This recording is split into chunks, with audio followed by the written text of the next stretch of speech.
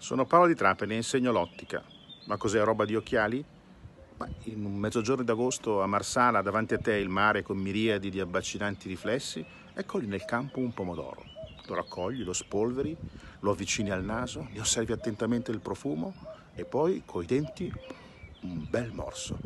E se c'è del peperoncino lì intorno o del sale, anche l'acqua di mare, non lesinare.